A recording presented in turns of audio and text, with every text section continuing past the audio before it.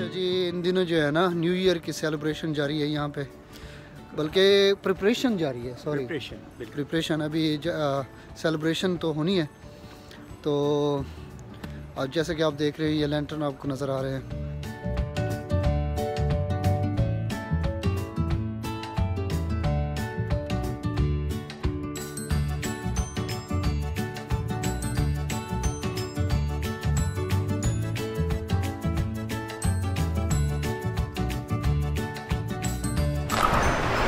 Year का ये है जी यहाँ पे डिफरेंट किस्म की सेलिब्रेशन होती हैं। सबसे पहले तो शॉपिंग जैसे होती है वो तो होती है सबसे मेन जो है यहाँ पे खाना।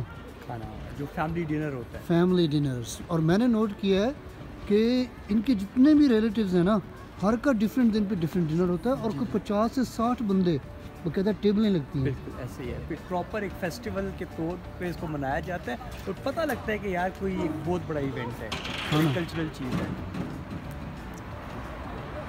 और साथ में में- वो क्या कहते हैं पटाखे फोड़ना वो तो अच्छा पटाखे फोड़ने की एक स्टोरी है मैं आपको थोड़ा सा इसके बारे में बता दूँ।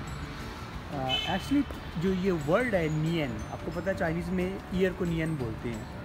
तो स्टोरी गोज़ लाइक दिस के एक बहुत बड़ा माउंस्टर था, जिसका नाम था नियन जो हर साल समंदर से निकलता था और जब स्प्रिंग आता था, यानी कि बाहर आती थी तो वो आके लोगों को खा जाता था। तो उसको काउंटर करने के लिए गाँव वालों ने सोचा कि यार इसको कैसे रोका जाए? तो एक दफ़ा ऐसा हुआ कि वो नियन बच्चों को खाने के लिए आया। तो एक बच्चे के हाथ से ना, जो खाने की थाली होती है, वो गिर गई।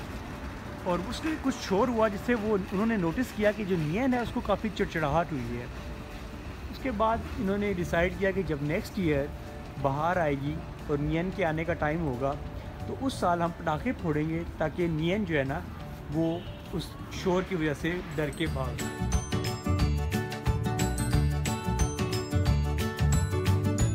तो पटाखे वगैरह उन्होंने अरेंजमेंट कर लिया। नेक्स्ट ईयर जब नियन आया तो उन्होंने वो पटाखे वगैरह फोड़े और वो उसकी वजह से वो वापस भाग के समंदर में चला गया। तो इससे इनका ये एक ट्रेडिशन बन गया कि हर साल जब बाहर आती है तो ये उसको सेलिब्रेट करते हैं और पटाखे इसलिए फोड़े जाते हैं ताकि नियन, वो जो मॉन्स्टर था, वो किसी को खा ना सके और वो इस तरफ़ जो है ना, वो लैंड की तरफ़ ना आ सके।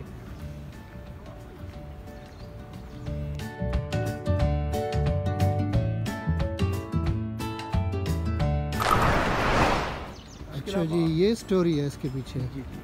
Thank you, उस्मान भाई। ये होगा कि दरवाज़ों पे ये लोग एक चीज़ लगाते हैं तुइलियन उसको बोलते हैं। आ, उसके हाँ। ऊपर विशेष लिखी होती हैं। विशेष डिफरेंट विशेष बिल्कुल डिफरेंट न्यू ईयर पे ये लगाते हैं बिल्कुल। वो पुराने ज़माने में तो लोग उसको कपड़े के ऊपर सिल्क जो होता था ना आपको हम्म। पता है सिल्क एक बड़ा एक्सपेंसिव कपड़ा है।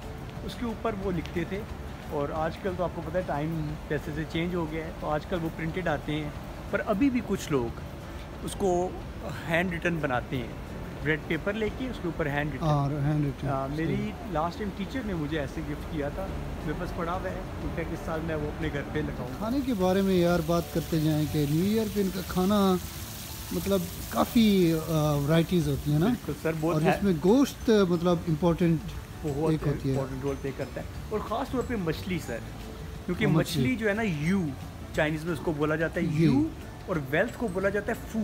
तो ये दोनों वर्ड्स काफ़ी मिलते जुलते हैं इस वजह से वो हम्म। मछली खाते हैं और मछली को पसंद करते हैं न्यू ईयर पे ताकि ज़्यादा जो है ना वो अगले साल उनके पास और ज़्यादा पैसे आए। और आपने एक वर्ड सुना होगा कुंगशी फासाए। गोंशी कुंगशी फासाए। है। आगे पता नहीं कुंगशी कुंगशी नी। ये जी यहाँ पे हम तो पीते हैं मिल्क टी ये लोग पीते हैं टी डिफरेंट किस्म की टी गई मिड एंड काफ़ी अच्छा न्यू ईयर की बात कर रहे थे। न्यू ईयर पे इम्पोर्टेंट चीज़ तो भूल गए ईदी।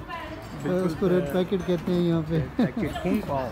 सब बच्चे जो है इंतज़ार कर रहे होते हैं बड़ों का कि कब वो आए और कब वो हमें खूंग पाओ जो है वो दें। हाँ ये सबसे इम्पोर्टेंट है। और मज़े की बात खूंग पाओ को में ज़्यादातर जो नोट यूज़ किया जाता है वो सौ का नोट यूज़ किया जाता है। चाइना में सबसे बड़ा नोट सौ का होता है और वो रेड होता है। और चाइनीज़ कलर भी रेड है ना? जी जी, बिल्कुल। चाइना में रेड को हारमनी और प्रॉस्पेरिटी का कलर समझा जाता है।